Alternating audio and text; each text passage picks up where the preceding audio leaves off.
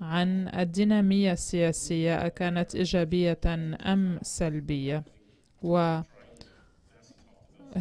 دراسة تركز على مكمن السياسي وعلى المقاربات الأوسع للسياسة التي تبتعد عن السياسة كسياسة الأحزاب السياسية. نحن نحاول أن نوسع البكار وننظر إلى مكمن هذا النشاط السياسي وهذه الدينامية السياسية وما معنى ذلك في العالم العربي اليوم؟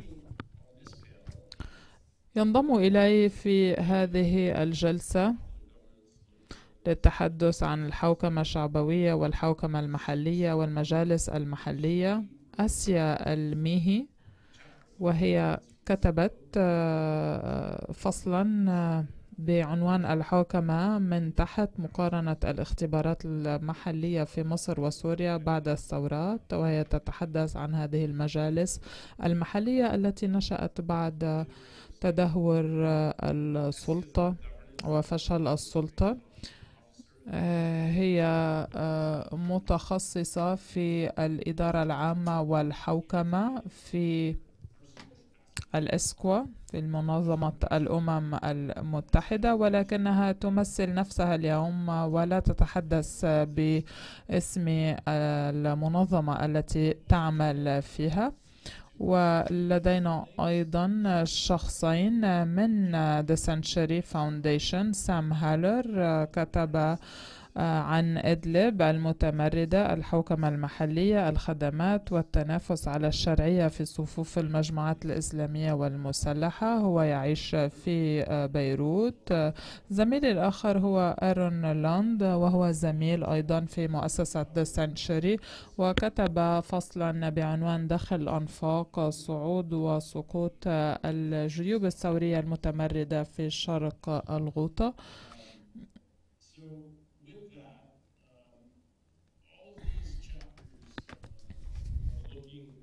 كل هذه الفصول تتطرق إلى أنواع الحوكمة المحلية والإدارة.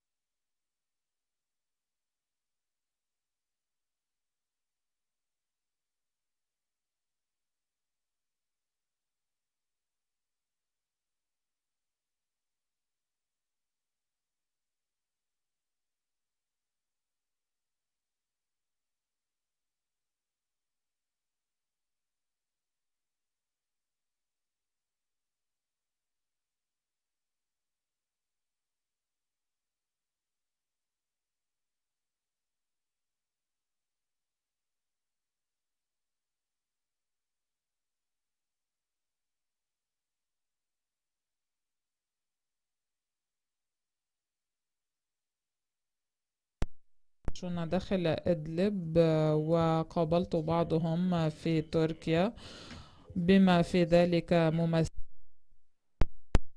محلية وممثلي المجموعات المسلحة وممثلي المجموعات المسلحة التي تعمل على تقديم الخدمات بالإضافة إلى العاملين في مجال الخدمات الطارئة والخدمات المساعدة وبهذه الطريقة تمكنت من أن أفهم ما يحصل في الداخل. في هذه المرحلة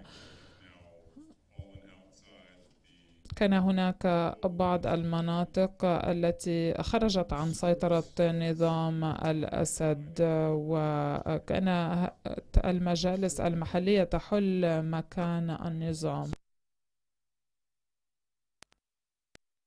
متعددة من الخدمات بداية بتقديم الخدمات من جهات خارجية إضافة إلى تقديم الخدمات البلدية بما في ذلك إزالة النفايات وبناء الطرقات أو بعض المرافق الخدماتية. وكان لهذه المجالس خبرة في الحوكمة التشاركية التي اتخذت أشكالا مختلفة. وتحدثنا عن هذه المجالس عند مستوى المدن المحلية وهي كانت بمثابة الهيكلية الفوقية أو البنية الفوقية وكان هذا الأمر يشمل المجلس في إدلب وهذا الأمر كان يسمح بالحل محل الحكومة عند مستوى المعارضة. ومن الناحية النظرية هذا الأمر يرتبط بحكومة الظل التابعة المعارضة ولكن من الناحية العملية لم تكن الحال كذلك. وعوضا عن هذه التراتبية الأفقية العائدة لهذه المؤسسات شهدنا على نوع من المجالس المحلية المتقطعة. التي لم تكن لديها العلاقات الضرورية لممارسة النفوذ وكانت هذه النفوذ تذهب باتجاهات مختلفة وبشكل أساسي إلى ما نسميه بالمنظمات. وهذا الأمر يشمل المنظمات غير الحكومية بالإضافة إلى المتعاقدين والمنظمات والجمعيات الخيرية. والمجالس المحلية تعتبرها بمثابة شريك يمكن التعويل عليه لتطبيق مشاريعها على أرض الواقع. ولكن كانت هنالك جهات فاعلة أخرى قررت التدخل. وفي مجالات مختلفة في المناطق الريفية حيث لدينا العائلات الموجودة منذ فترة طويلة وحيث هنالك أيضا المجموعات المسلحة. وبالتالي هذه الفئة ليست بعيدة جدا عن المشهد العام. إذا لدينا هذه المجالس المحلية وفي مناطق كثيرة تكون ضعيفة نسبيا ولكنها مهمة كثيرا. فيما يتعلق بالنفاذ إلى الموارد وإلى النفوذ والسلطة المحلية. لأنه إذا كان بإمكانكم توفير المساعدة واختيار المستفيدين من المساعدة. إذا هذا الأمر هو بمثابة نوع من السلطة أو من النفوذ. في هذه المحافظات شهدنا إذا على تحول في العام 2015 من خلال تحالف بين الإسلاميين المحليين وبين الفئات الجهادية التي ذهبت إلى المحافظة والتي استحوذت على العاصمة إدلب. وبعد ذلك تم طرد النظام من محافظة إدلب. عند هذا المستوى اتجهت الجهتان التي قضتا هذا التوجه إلى الحوكمة وبدأت تملي الأمور إذا عليها من جهة كانت لدينا جبهة النصرة ونعرف أنها تابعة للقاعدة ونسميها الآن هي تقرير الشام ولدينا أيضا حركة تحرير الشام الإسلامية. إذا أو أحرار الشام بكل بساطة. وهي حركة إسلامية نشأت عن حركة نضالية وأصبحت ذات قاعدة شعبوية واتسمت بهذا الطابع الثوري الشعبوي.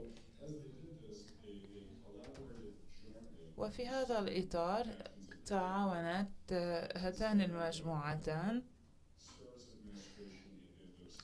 في إرساء إدارة للخدمات في إدلب و كنا نتحدث إذا عن هيكلية تقوم على هذه هاتين المجموعتين لتوفير الخدمات. ولكن في المناطق الريفية بدأ هذا التعاون بشكل مباشر وتمت المنافسة من خلال توفير الخدمات من خلال بعض المؤسسات التي حاولت أن تستحوذ على الولاء عند المستوى المحلي وجرى ذلك بطريقة مختلفة. ما قامت به أحرار الشام هو التنسيق مع المجالس المحلية في محاولة لاستغلال هذه الوسائل المتاحة للدعم الشعبوي. في حين أن جبهة النصرة كانت لديها طريقة توفيرها للخدمات بشكل مباشر في بعض الحالات حلت محل المجالس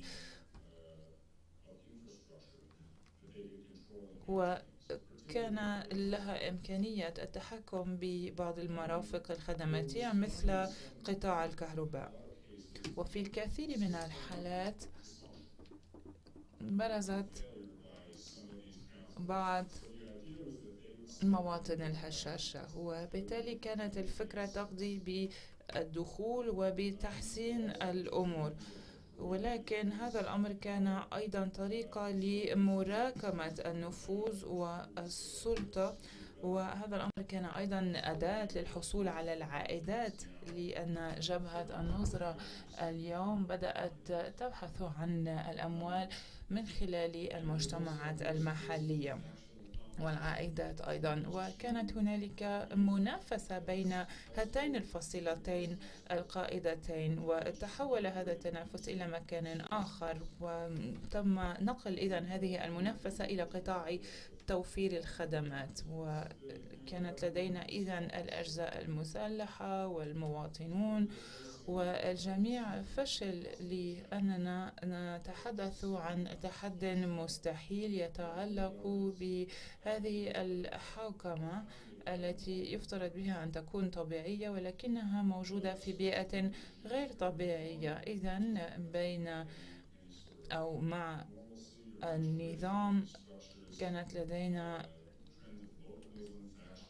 توجهات لإطفاء الطابع المحلي أيضا مع نوع من الدعم العشوائي وجود موارد محدودة موارد بشرية ومادية محدودة ولم يتمكن أحد هذه التحديات.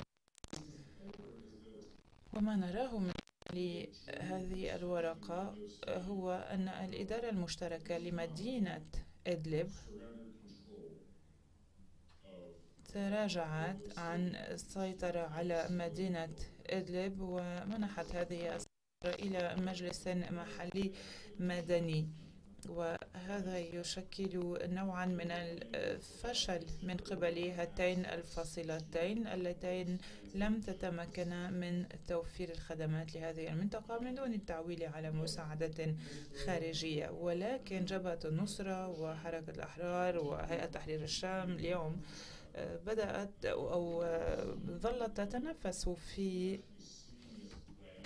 المناطق الريفية ولقد شهدنا على ذلك مؤخرا حيث كلتا الفصيلتين أو حتى المؤسسات الخدماتية المرتبطة بهما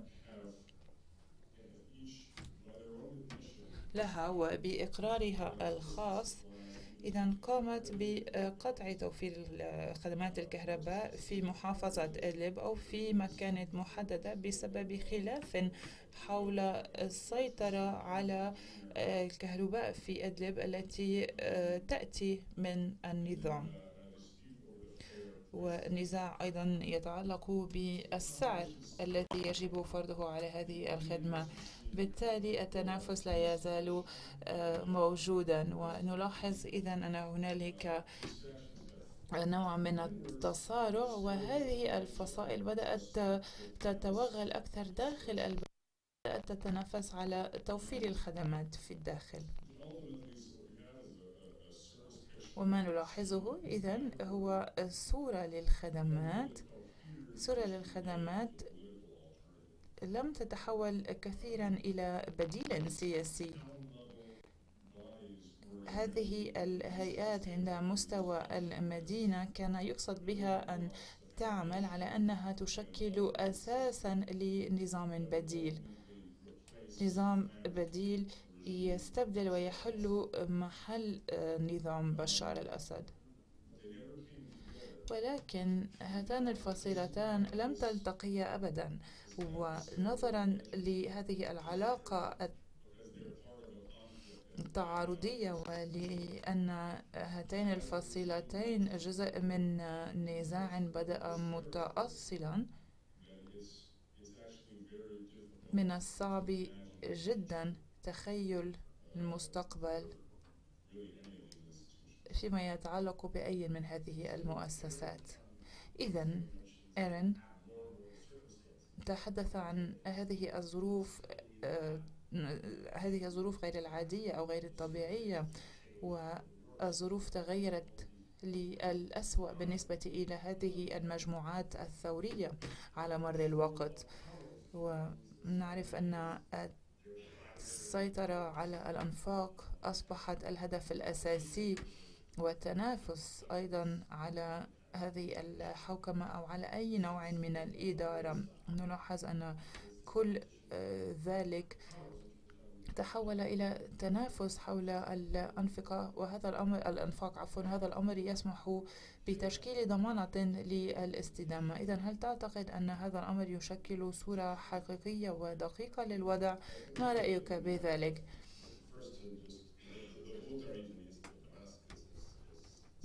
منطقة الغوطة ودمشق هي محاصرة منذ أوائل العام 2013 ولهذا السبب بدأت أنظر في هذه المنطقة لأنني اعتقدت أو أعتقد أنه يمكننا أن نفكر فيها بمعزل عن المناطق الأخرى في سوريا نظرا لاختلاف المجموعات. وتحدث سام عن أحرار الشام وجبهة النصرة كانت موجودتين في الغوطة ولكن لم تكن تتنافس على السلطة هنالك. بالتالي لدينا نوعا من الحالة المنعزلة أو الموجودة على حدة نوع من انفصال الأشخاص غير قادرين على القيام بكل ذلك بشيء مستقل والسلطات تقوم ببسط سلطتها على دمشق. وكل هذا الأمر يحتم عدد أو كميات الأغذية والأدوية التي ستدخل إلى المدينة. وفي هذه المنطقة كما قلنا كان الوضع كالتالي الجهات والمجموعات الثورية كانت تتنافس فيما بينها وكانت تسعى أيضا إلى بناء قدراتها البديلة قدرتها على ممارسة الحكم وكان هذا الأمر يجري من خلال شبكات محسوبية للسيطرة مثلا على مدينة أو قرية معينة وكانت تريد أن تتحكم بالعائدات الناتجة عن تهريب. وهذا الأمر يجري من خلال الأنفاق. كما أن هنالك نقاط رسمية لدخول المنتجات إلى منطقة الأوطة وهي موجودة إلى جانب مخيم الرافدين في منطقة دوما. وهذه المنطقة مسيطر عليها من قبل جيش الإسلام وهو أكبر مجموعة في المنطقة.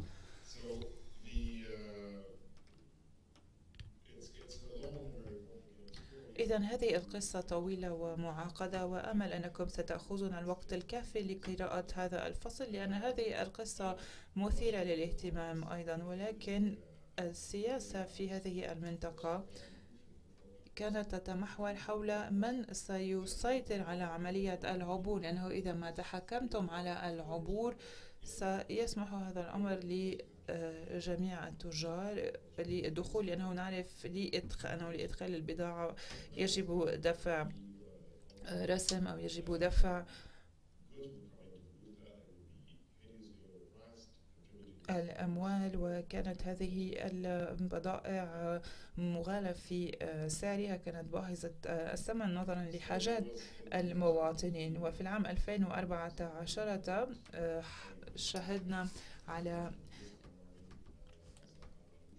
نزاعات ضارية بإدارة زهران علوش وقت ذاك ومجموعة أخرى أيضا. أعدها الجيش السوري الحر وكانت تضم مجموعات مختلفة وفئات مختلفة. وما حصل هو وكنا نسمي هذا الجيش بجيش الأمة وقت ذاك. إذا ما حصل هو أن كانت تعارض زهران العلوش والجيش الإسلامي وذلك فيما يتعلق بمنطقة الغوطة. وابتداء من عام 2014 وصولا إلى ربيع 2015 ازدادت نفوذ الجيش الإسلامي وهذا القائد الإسلامي زهران علوش تمكن من استغلال الموارد الناتجة عن عمليات العبور إلى المنطقة لأن تنظيمه كان تنظيما متينا يتمتع ب شرطته السرية وكل هذه الأمور التي استنسخها من النظام مع وجود أيضا سجن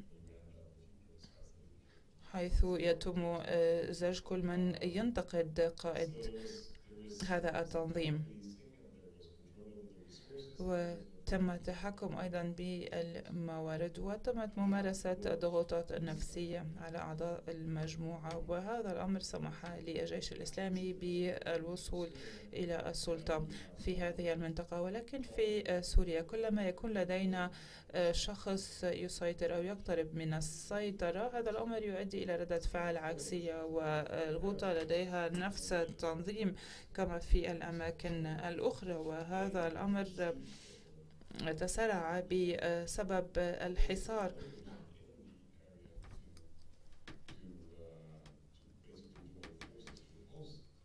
وبالتالي بدأ الانضمام إلى القوى المعاكسة لمعارضة زهران العلوش وحصلت مواجهة قطبية بين هذه المجموعات. كانت هنالك مجموعات ثلاثة أو أربعة كبيرة. أما المشكلة بالنسبة إلى زهراء العلوش كان يتعلق بعبور منطقة الرافدين في شرق الغوطة. كان لدينا مسألة الأنفاق التي كانت تمتد إلى الحدود الغربية وإلى الضواحي الغربية لدمشق.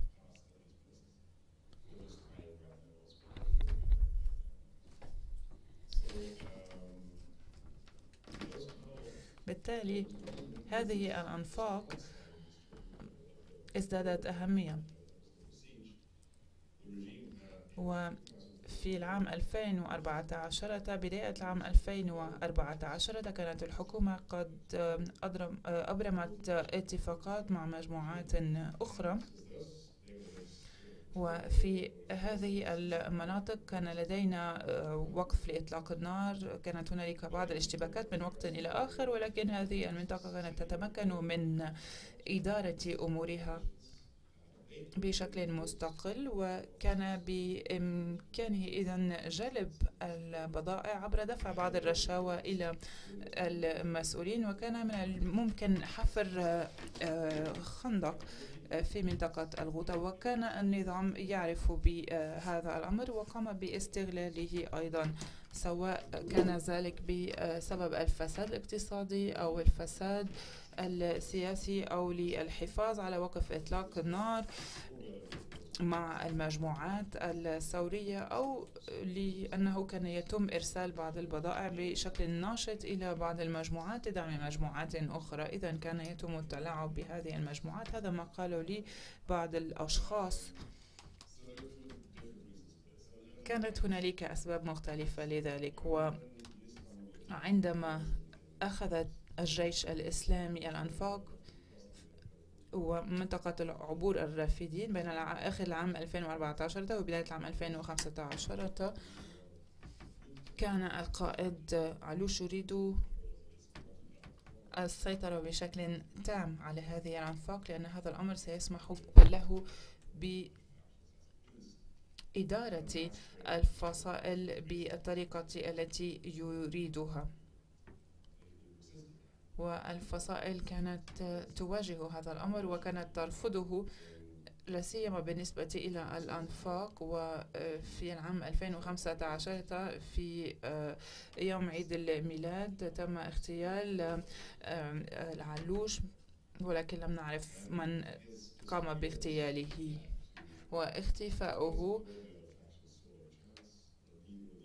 أعطى فرصة للفصائل الأخرى لأن القائد اختفى وأرادت الفصائل الأخرى استغلال هذا الوضع وشهدنا على ارتفاع في القطبية وفي شهر أيار مايو. شهدنا اعتداء من قبل الفصائل المعارضة التي أرادت أن تسلب الأنفاق وانقسمت الغوطة بين الجيش الإسلامي وبين من عارض الجيش الإسلامي وكل جهة كانت تسيطر على مورد معين وكانت المجموعتان تتحاربان و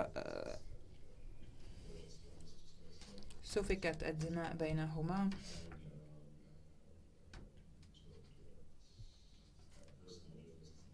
وكانت هنالك اختلافات وخلافات شخصية والكثير من الخلافات. إذا لدينا الآن هذا الانقسام والنظام استغل ذلك استغل ذلك مع الجيش الإسلامي و استحوذ على مناطق واسعة جدا في العام 2016 وبعد ذلك شهدنا على تجدد للمعركة. لا سيما في شهر أبريل نيسان من هذا العام والنظام استغل ذلك وبالتالي نلاحظ أننا شهدنا على صعود على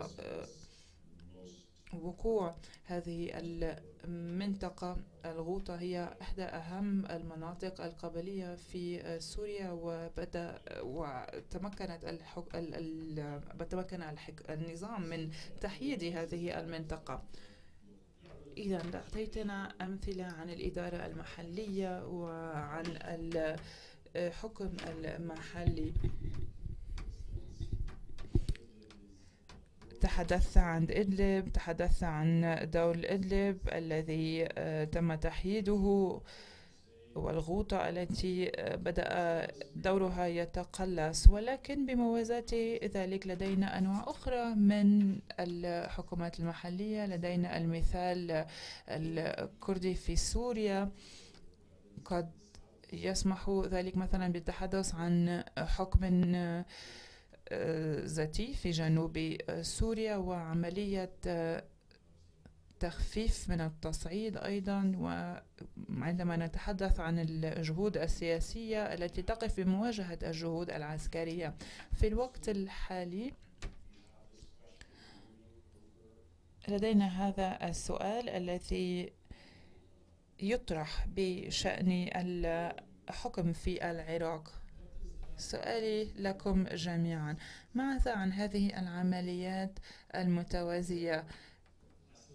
هل هنالك دروس يجب أن نتعلمها من هذه الحالات المختلفة؟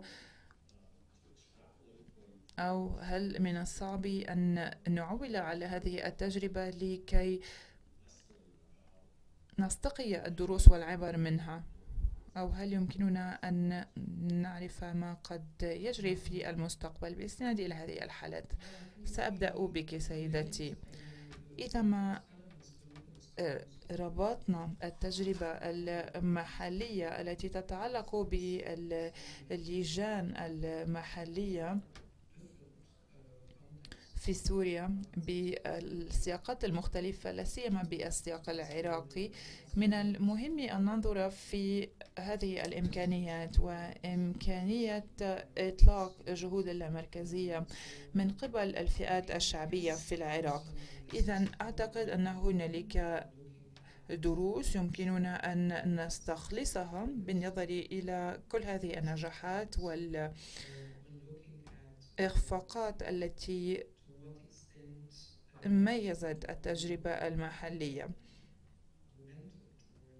ويجب أن نرى ما هو الزخم الحالي باتجاه المركزية في العراق وما إذا كانت ستترسخ بالاستناد إلى العقد الاجتماعي وهيكلية الدولة. الوضع في العراق يختلف بعض الشيء لأن إعادة هيكلة الدولة جرت من فوق من الأعلى إلى الأسفل وذلك من خلال مسؤولية سياسية كبيرة.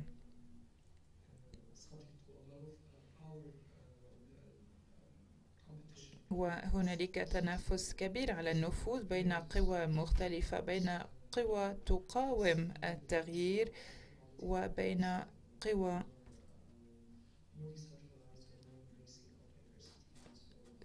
لا تريدون ربما التنوع. إذا لدينا هذا الانفصال لدينا الإصلاحات القانونية التي حصلت في العراق والتي فتحت إمكانيات أمام لا مركزية الخدمات العامة. بعض الخدمات التي كانت تقدم من قبل بعض النخب. إذا حصلت هذه الإصلاحات من الأعلى إلى الأسفل. وفي المقابل شهدنا على جهود من قبل الفئات الشعبية التي أرادت أن تطور تجارب مماثلة مثل ما رأيناه في مصر وسوريا. وهذه الجهود لم تكن متماشية مع السياق بالتالي يجب أن نفكر في العوامل التي ترعى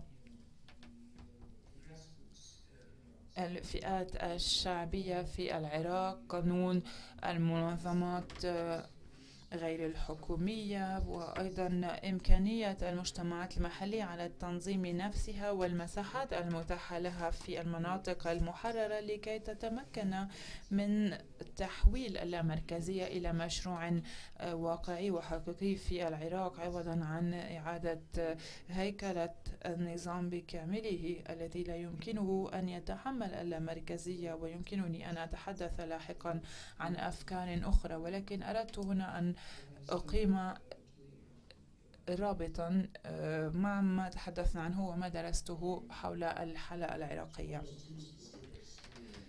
بالنسبة إلى الحالة السورية والحالتين اللتين سمعنا عنهما. أنا قمت بتحقيقاتي الخاصة في المناطق الجنوبية والمناطق الكردية وفهمي هو التالي. المنطقة الجنوبية تنظمت كمنطقة للمعارضة مع ديناميكية عسكرية وسياسية مختلفة. والمجالس المحلية في المحافظة كانت مماثلة لما هو موجود في الشمال. لا سيما من حيث التنظيم ولكن فيما يتعلق بالآفاق. هذه الآفاق غير واضحة في الوقت الحالي بسبب حجم عملية تخفيف من التصعيد وكل هذا ليس واضحا. ولا نعرف أيضا ما هو الهدف النهائي منه. هل نتحدث عن استقلالية عند مستوى منخفض؟ أو هنا نتحدث عن إعادة إدماج هذه المناطق ضمن المؤسسات في الدولة السورية. إذا كانت هذه الغاية بالتالي أعتقد أنه يجب أن نتحدث عن الاستعداد للتعاون بين النظام.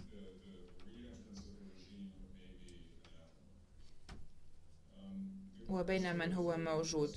المناطق الكردية مثيرة للاهتمام. لأن مشروع حزب الوحدة الديمقراطية وطني فرعي لأن هذا الحزب لم يؤدي إلى تغيير في النظام أو إلى تغيير في دمشق أو في وسط سوريا.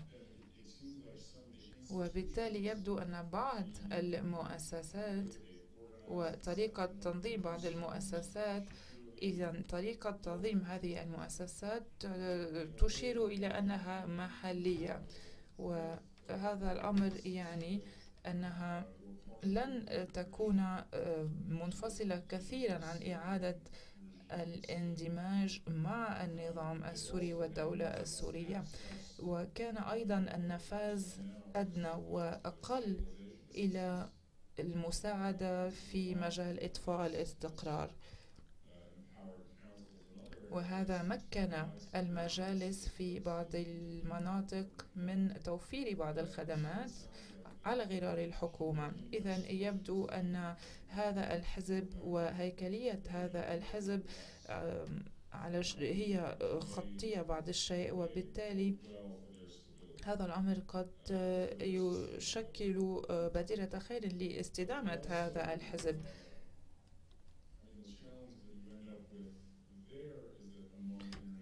أما التحدي فهو يتعلق بالجهات المانحة الدولية لا سيما فيما يتعلق بالولايات المتحدة الأمريكية. يبدو أن هنالك استعداد للاستمرار الآن في أنشطة وبرامج إطفاء الاستقرار وفيما يتعلق بالخدمات الأساسية لأن الفكرة هو تحويل هي تحويل هذه المناطق بعد استعادتها من الدولة الإسلامية إلى مناطق يمكن العيش فيها. ولكن لن يتم إبرام اتفاق مثلا لبناء الدولة أو لبناء الهياكل مع الحزب. وبالتالي سنتوصل إلى عدو يعمل بشكل جزئي من دون الإمكانية إلى النفاذ إلى الموارد الكاملة في سوريا. ولكن نعرف أن من رعى هذه المبادرة غير مستعد لتحويل المبادرة إلى شيء أفضل. وبالتالي نبقى عالقين في الوسط. أنا أوافقك الرأي.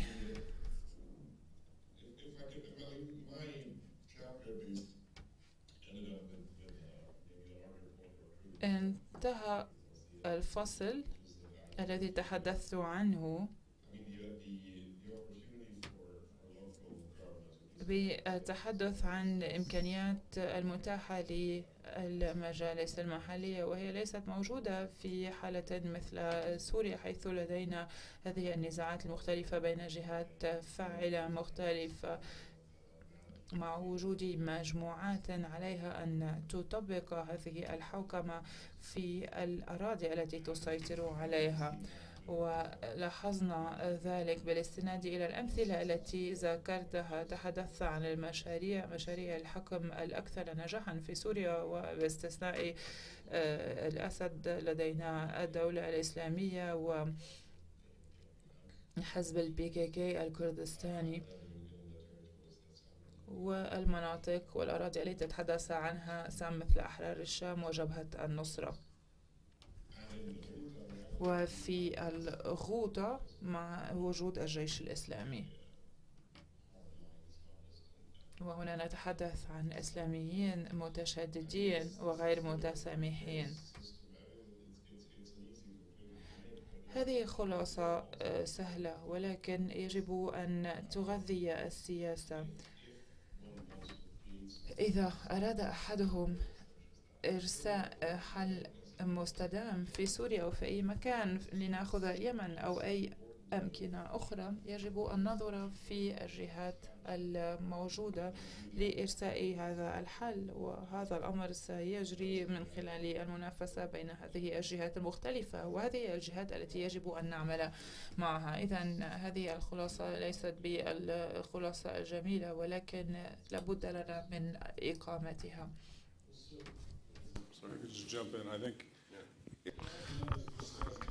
هذا رهن بالجهة التي ستربح.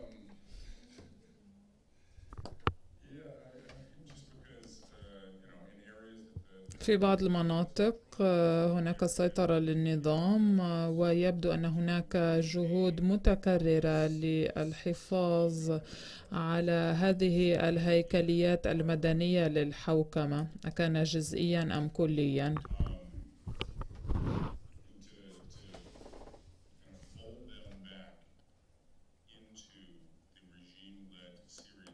لكي تندمج لاحقا بالنظام السوري.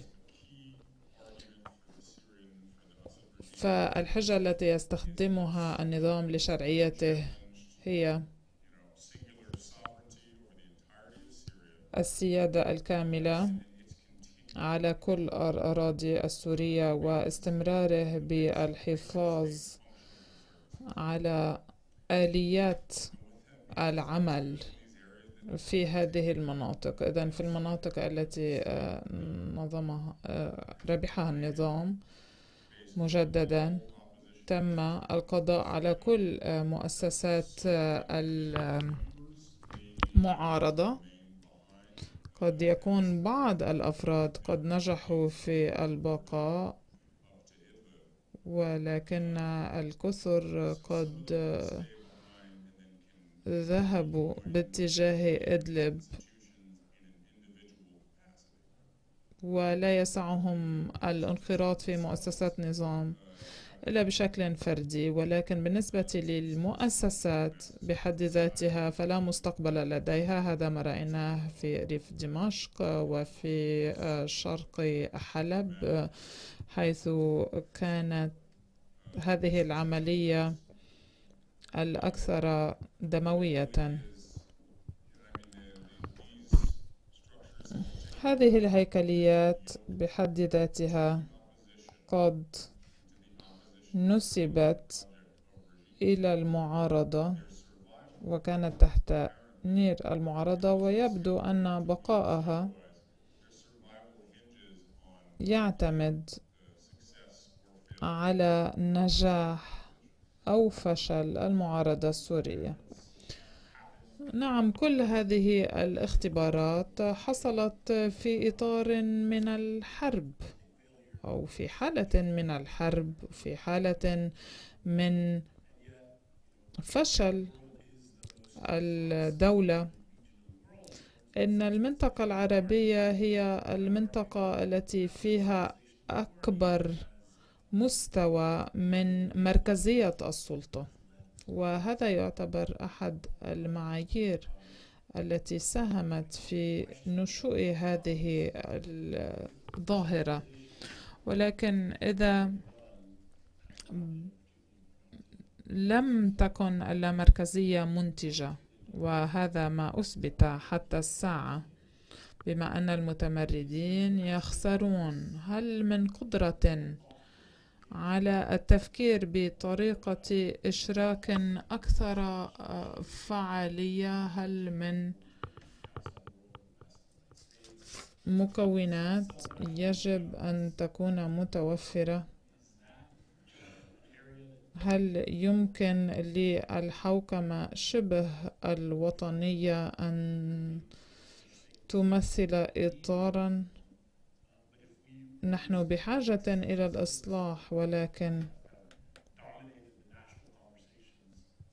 إذا ابتعدنا عن هذا الإطار الخاص بالدولة حيث تحدثنا عن تغيير الأنظمة وعن الخاسرين الواضحين والرابحين الواضحين هل إن تخفيف هذه المخاطر ممكن وهل يمكننا أن نفكر بالسياسة على مستوى محلي؟ هل هذا ممكن في المستقبل؟ نعم بكل تأكيد. في العراق مستقبل السياسة رهن بإيجاد طرق للتعايش بين هذه المجتمعات. وإيجاد طريقة لخلق هذا النظام الإشراكي. والقدرة على ابتكار الحلول من الأعلى إلى الأسفل ومن الأسفل إلى الأعلى وهذا ما يقوم به العراق منذ سنوات مضت. ولكن أحيانا عندما أفكر باللامركزية في بعض المناطق. أشعر أن الأمر لن يكون مفيدا ولن يكون منتجا ولكن هذا رهن بالإطار الذي نتحدث عنه. نعم اللامركزية والحوكمة المحلية بإمكانهما أن يكونا طريقة جيدة لمقاربة المشاكل الحالية مشاكل المواطنة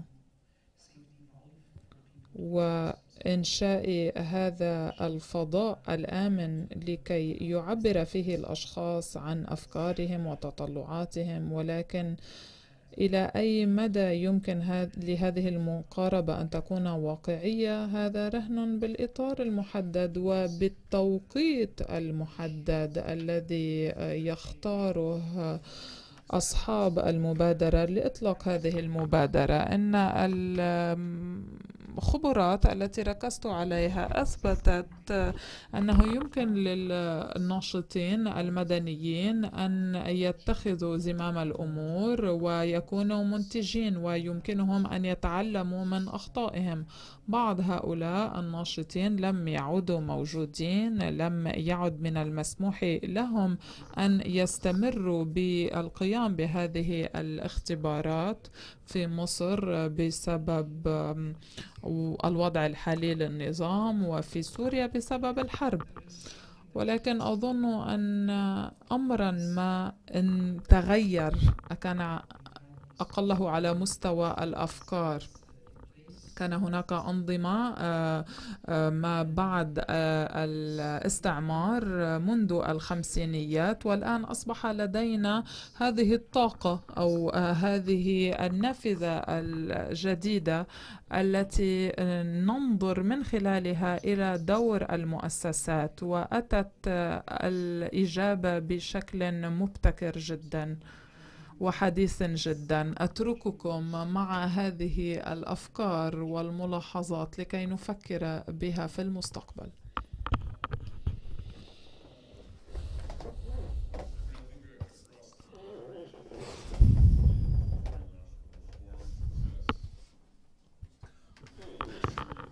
في الحالة السورية أنا متشائم. لأن هناك أراض تعاد إلى سيطرة النظام وعدد المناطق أصبح بتزايد ولا أرى أي تحسن على مستوى الإصلاح. لا أعتبر أن هذه المقاربة واقعية. نحن نستخدم هذا الحوار ولكن إن إعادة البناء قد تكون إحدى الأدوات المستخدمة لإنقاذ ما تبقى من المقاربة بعد سقوط النظام بحد ذاته. فكرة أن المال سيقوي الوضع فكرة غير واقعية. ولهذا السبب لن نجد مكانا لنخرج فيه من هذه الدائرة المفرغة. من الصعب أن نفكر بفيدرالية في بعض المناطق على الرغم من أن ذلك قد يكون أكثر قدرة أو قابلية للاستمرار ربما في المناطق الكردية. ولكن حتى هناك هذا النظام الذي أسس هو مرتبط بالبي كي كي. الذي نعتبره نحن نظاما إرهابيا أو مجموعة إرهابية وتركيا مصممة على القضاء عليه. إذا هذا الأمر لا يمكنه أن يكون حلا ممكنا. ربما في الحلب قد يكون هذا الخيار ممكنا. عندما كنت في أنقرة قال لي الأتراك أنهم يهتمون بإعادة إدماج هذه المنطقة في النظام أو تحت النظام السوري ولكن ماذا عن الجنوب؟ فلنرى.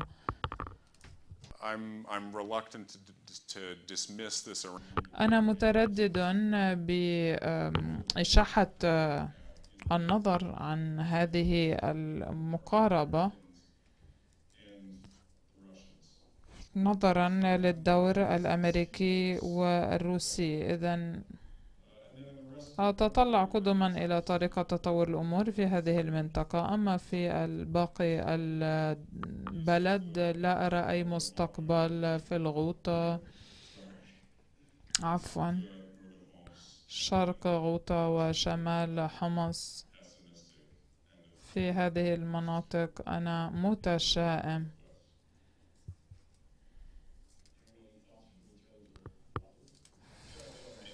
هل من ملاحظات أخرى؟ آه، أكره أن أوافقه الرأي ولكنني مجبر آه، سوريا هي آه، قضية خاسرة نظرا لهذا الإطار المسلح بين المجموعات المسلحة والحكومة فهم يتقاتلون لكي لا يتشاركوا السلطة قد يتشاركوا الأراضي ولكنهم لن يتشاركوا السلطة. بالنسبة إلى المساحات حيث ما من حرب مدنية قد يسهل تطبيق أمور كهذه وآمل أن يكون ذلك ممكنا. ولكن بكل تأكيد هناك ظروف مختلفة وأطر مختلفة وأنا لا أظن أن هناك حلا واحدا لكل الأوضاع. كان لدي ملاحظة على ما قاله سامر ما سنشهده في سوريا على مستوى اللامركزية أو الحوكمة المحلية. لن يكون ذات طابع مؤسساتي ولكننا قد نشهد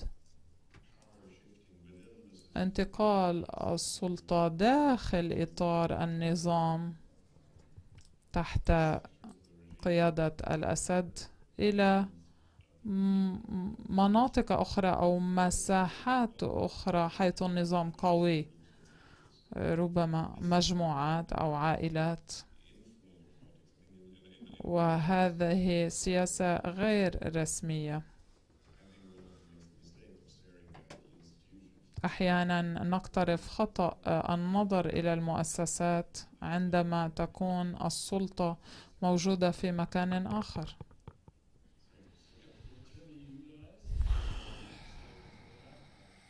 إذا الآن سوف نفتح باب الأسئلة. ونبدأ هنا في الأمام. مرحبا. أولا أود أن أشكركم خاصة آسيا لأنها تحدثت عن الإبداع الذي يصبح متاحا عندما يكون المناخ أو يكون الإطار موجودا. عندما يشارك المواطنون بإدارة شؤونهم في بعض المناطق في سوريا كان لدينا مستوى مرتفع جدا من الابتكار. وبدأنا نلاحظ وجود هذه الخبرات في أطالب أو في إدلب. حيث النزاع ليس نزاعا تقليديا بين أحرار الشام أو جبهة النصرة بل هناك أطراف محليين تمكنوا من إحداث فرق. هل يمكن أن نستنسخ هذه الخبرة؟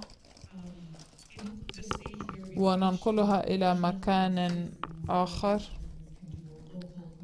أم أننا وصلنا إلى مرحلة حيث لا يمكن للمنظمات أو للمواطنين أن يقوموا بأي شيء هل يمكنك أن تقولي لنا أين تمكن المجتمع من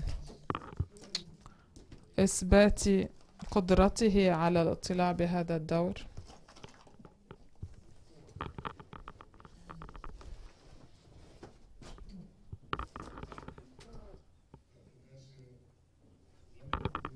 دكتورة آسيا إحدى الأمور التي تحدثت عنها هي اللامركزية في مصر ونماذج اللامركزية في مصر. هل لاحظت أنه خلال المرحلة التي كان فيها الإخوان المسلمون يسيطرون على مصر هل تم قبولهم من قبل المجتمعات المصرية وبعد سقوط المرسي؟ ماذا حصل لهذه المجتمعات في البلديات مثلا أو في مجالس البلديات؟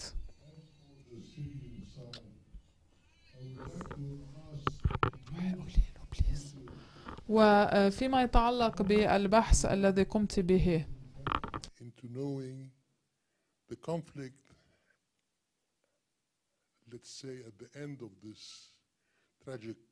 في نهاية هذه الأزمة ماذا عن الصراع بين العلويين والسنة في كردستان؟ مثلا هناك نقص في الثقة بين هذين المجتمعين.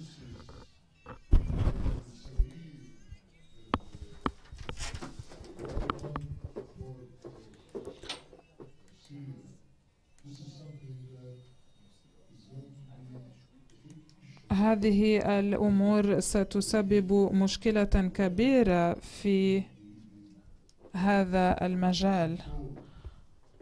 من سيتمكن من السيطرة على النظام السوري؟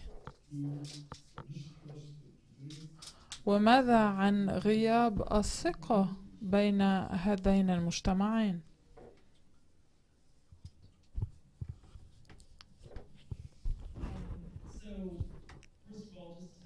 بداية. أود أن أعيد تسليط الضوء على ما قيل في الجلسة الأولى. التأكد من أن هذه الاختبارات لن تنجح أو تأكد النظام من أن هذه الاختبارات لن تنجح. فالنظام السوري لديه استراتيجية واضحة. وهي تركز على ضرورة ألا تتمكن هذه المجالس المحلية من النجاح.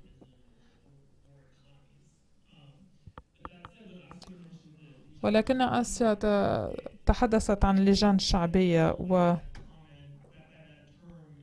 لطالما أعجبني أو آه، لفت انتباهي هذا المصطلح في سوريا هذا المصطلح كان الاسم الأول للميليشيا الداعمة للسلطة. وبعد ذلك اتخذت تسمية أخرى وأصبحت تحت سيطرة إيران. وهذا يذكرني بالنقطة الأخيرة التي قالها أرن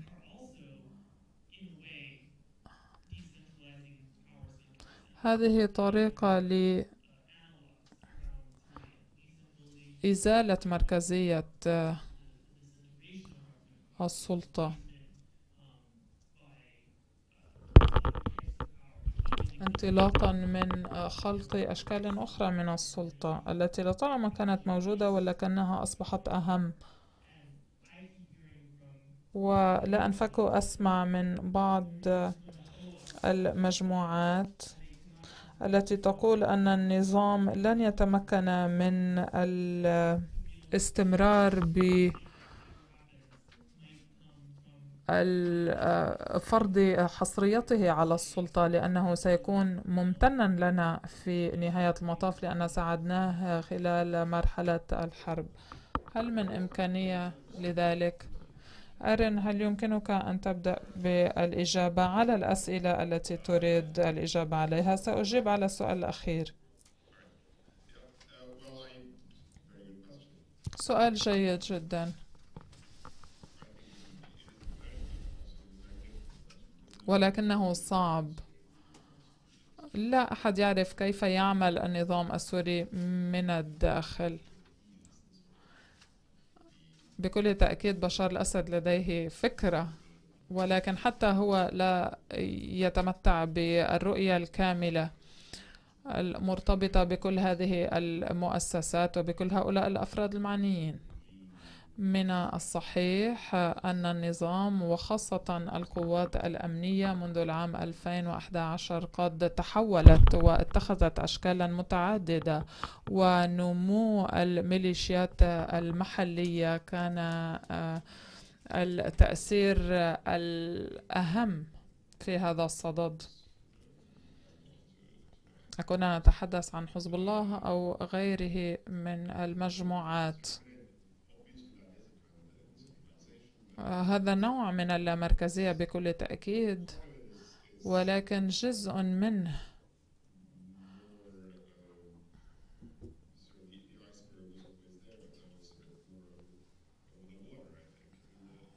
قد أصبح جليا. يمكننا أن نقول أن الهيكلية لطالما كانت معقدة أو منفصلة في بعض الأحيان وهذه القوات الاستخباراتية لطالما كانت موجودة وكانت تعمل بشكل سري.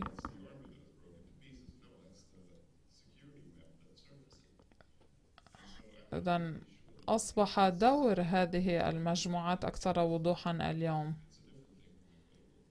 بكل تأكيد تغير الوضع عما كان عليه قبل الحرب.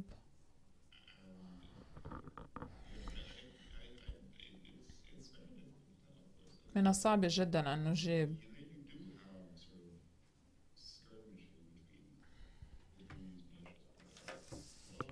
هناك بعض التنافس بين آه، هذه الميليشيات.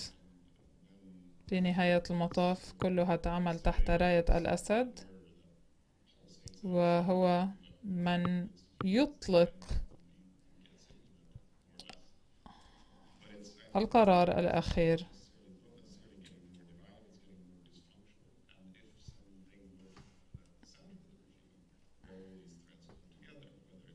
وأنا أتساءل من أين ستأتي القوة؟ التي ستعطى لهذا النظام مع وجود كل هذا التململ داخل الصفوف. كل هذه توقعات من يدري؟ الرجاء طرح السؤال على الميكروفون. كي نتمكن من الترجمة. سؤال جيد مرة أخرى. وهذا السؤال سمعته من قبل داعمي النظام ومعارضي النظام. سنرى بعد الحرب. فإن الأزمة السورية تتطور بشكل قد يدفعنا إلى التفكير بأن المستقبل سيكون أقل دموية نظرا لأن الأسد أصبح يسيطر على عدد أكبر من المناطق. إذا ستستمر الحرب غير الرسمية بشكل طويل. وحتى لو لم تستمر فسيحرص النظام على استمرارها. أنا متأكد من أن التغييرات ستحصل ومن أن إعادة التوازن في العلاقات داخل النظام سوف تتغير بكل تأكيد. ولكن هذه أمور لا يمكننا أن نحددها أقله بالنسبة إليه. هناك بعض المواطنين الذين بقيوا في سوريا. وهم يعبرون عن مطالبهم ولكنهم ولكن ما من أحد يستجيب لمطالبهم حتى لو كانوا موالين للنظام. أصبح هناك هوامش أكبر للتعبير.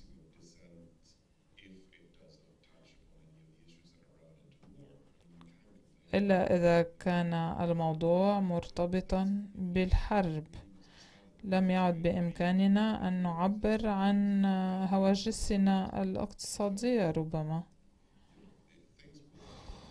بكل تأكيد الأمور ستتغير ولكن لا نعرف بالضبط بأي اتجاه Sure. So on Salma's question, I mean, see. So I mean, certainly, again, with the caveat that I have an incomplete picture on this. بكل تأكيد الصورة ليست واضحة ولكننا نشعر بهذا الوجود الدائم للمجتمع المدني المستقل في بعض المناطق ليس في كل المناطق ولكن في بعض المناطق مثل سراقب ومعرة النعمان هناك مجتمع مدني حيوي ومستقل. قد.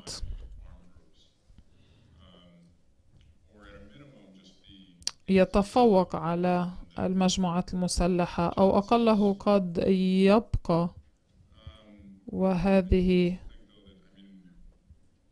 هي طريقة من بين آه، طرق الاستمرار والنجاح.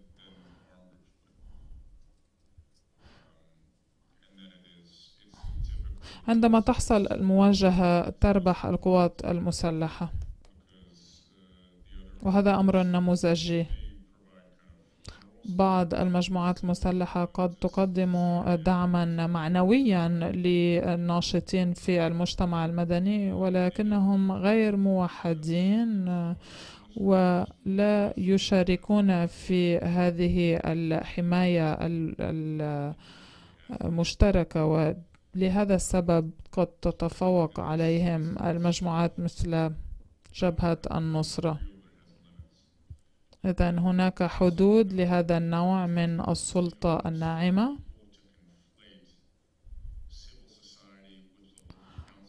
آه، أظن أن بعض الأشخاص لا ينتبهون للفارق بين المجتمع المدني والمجالس المحلية.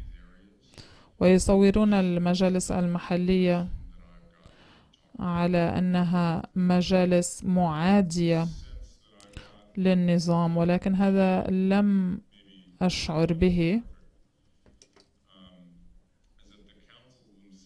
فالمجالس بحد ذاتها غير سياسية وتركز على الخدمات ولكن لديها طابع سياسي إلى حد ما. هي تمثل السياسة التشاركية وقد تدافع عن نظام الأسد ولكنها ليست مركزا سياسيا معاديا بهذا المعنى كما رسمته بعض الأطراف. فيما يتعلق بالطائفية هناك بعض العمل الذي يمكن بذله لإجراء هذه المصالحة بين المجتمعات داخل سوريا. ونحن هنا لا نتحدث عن المصالحة التي روج لها النظام بل المصالحة الفعلية. ولكنني لا أعرف حقا ما هي الأمور التي يمكن توقعها. بشأن مستقبل هذه الأمور أنا أفترض بأن آه، مشارع مشاعر الضغينة ستكون موجودة لمرحلة طويلة وستغذي غياب الاستقرار والأزمات المدنية. فيما يتعلق باللامركزية تحت مظلة آه، النظام بحسب ما سمعت وفيما يتعلق بالمؤسسات غير الرسمية كانت مستوى لا مركزية السلطة محدودا جدا.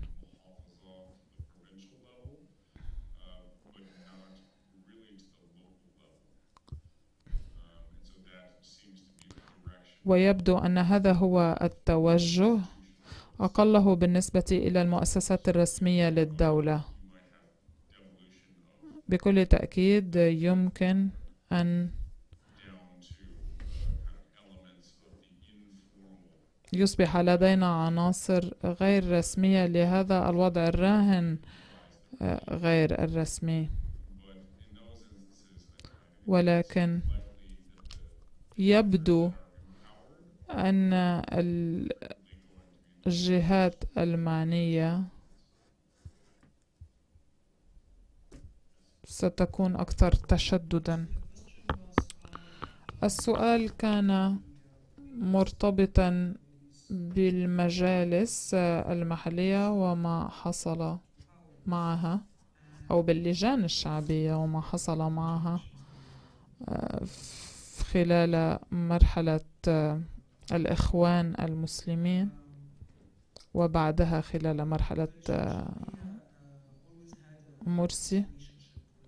اللجان الشعبية لطالما كان لديها آه، علاقة متوترة مع النظام. ولكن مع الإخوان المسلمين أصبح هناك تنافس على بعض النجاحات المجتمعية. مثلا عندما يتم بناء عيادة طبية أو ينجح الناشطون المحليون بتأمين خد خدمة ما. كان الناشطون المرتبطون بالإخوان المسلمون يعلقون الرايات حول هذه العيادة ويدعون أن هذا نتاج عملهم. وليس نتاج عمل اللجان الشعبية. إذا كان هناك توتر كبير. وكان الإخوان المسلمون يحاولون فرض سيطرة أكبر على المستوى المحلي. شعرنا أيضا بنقص في الخدمات ليس فقط الكهرباء بل أيضا النفاذ إلى خدمات جمع النفايات وكل أنواع الخدمات الأخرى في القاهرة الكبرى وفي الأماكن المحيطة بالعاصمة. واستهداف هذه اللجان الشعبية. إذا ما بدأ يحصل هو أن الأشخاص أصبحوا مجبرين على الابتعاد عن نظام المرسي نظام المرسي لأنهم لاحظوا أنهم يقوضون نظام الخدمات ويربطونه بسجلات الانتخابات. كان هذا النفور واضحا جدا وهذا ما كان واضحا بما أن النظام بدأ يخسر السيطرة. سؤالان سريعا لنبدأ بالصف الأول. شكرا جزيلا.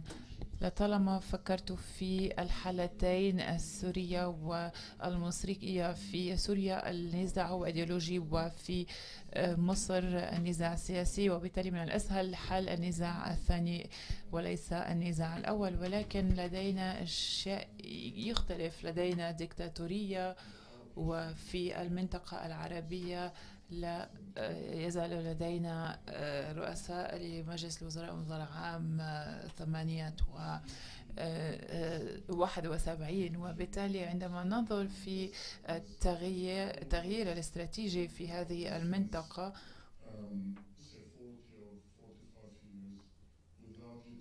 نرى أن أنه مرت 45 45 عاما من دون أن يتدخل الأمريكيون والأوروبيون كما حصل في مصر عندما توقف الأمريكيون من التواصل مع مبارك وقت الثورة. ونرى ما حصل مع صدام حسين والتغيير الكبير الذي نتج عن ذلك في المنطقة.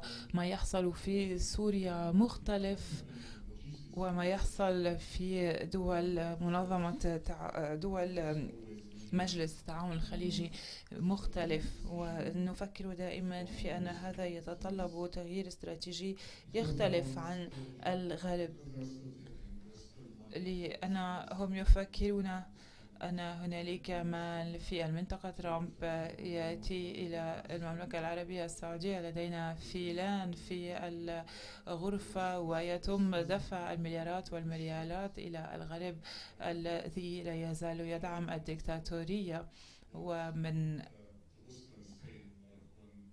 منظور الواقع يقول الغرب وأنا سمعت ما قاله أوباما خلال مقابلته مع مقابلة مع فريدمان يقول نحن نريد أن نحمي هذه الدول من الخارج ولكن عليها أن تحمي نفسها من الداخل.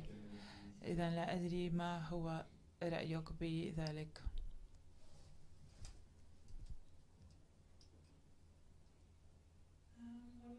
عندما نتحدث عن الحكم المحلي في سوريا كنت أتساءل عن عدد مجموعات المعارضة التي لها جدول أعمال للحكم المحلي.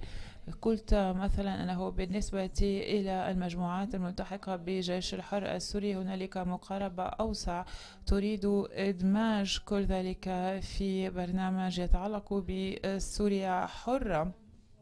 ولكن بالنسبة إلى أحرار الشام وجبهة النصرة هل تعتقد أنهما يريدان الحصول على حكم محلي أو السيطرة على الأراضي للتوصل إلى مزيد من الموارد وللنفاذ إلى اليد العاملة وإلى أشخاص يساعدونهم في محاربة النظام؟ شكرا. سنكتفي بهذا الحد ونعطي الكلمة إلى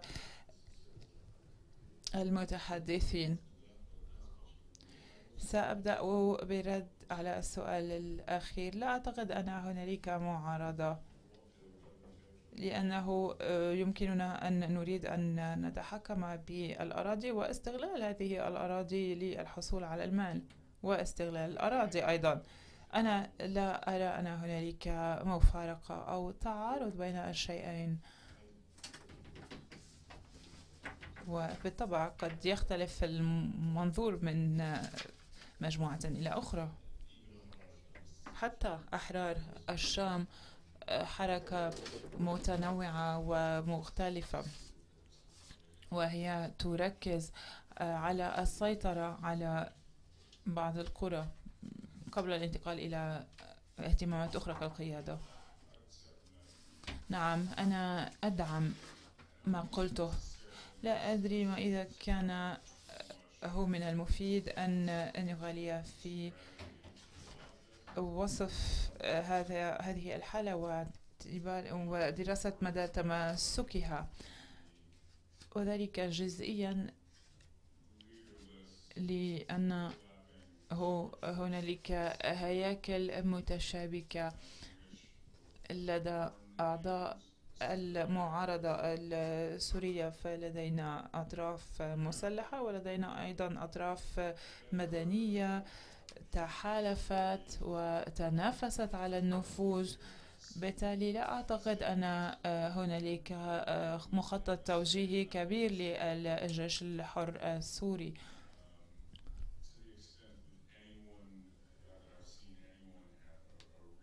هل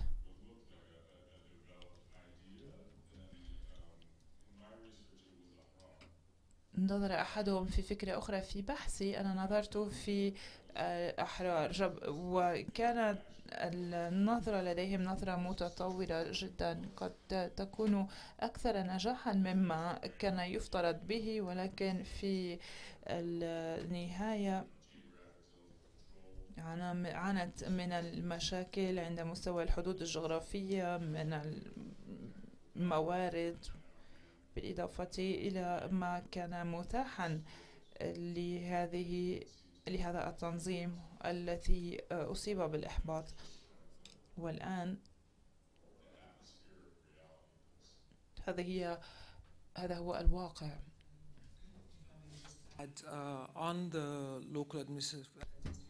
فيما يتعلق بمجالس المحلية هنالك ديناميكية أخرى وهي تتعلق بالجهات المانحة ويتعلق ذلك بمدى التعويل على الجهات المانحة. وهل ستطالب الجهات المانحة ببعض الشروط مثلا؟ ولكن هنالك أيضا الرغبة من قبل الجهات الناشطة لكي تقوم بتحديد إطار لعملها في إطار مؤسسات قانونية ضمن سوريا. وبالتالي حتى وإذا كانت هذه المجموعات تعارض نظام الأسد وتطالب بشيء مختلف إلا أنها أرادت أن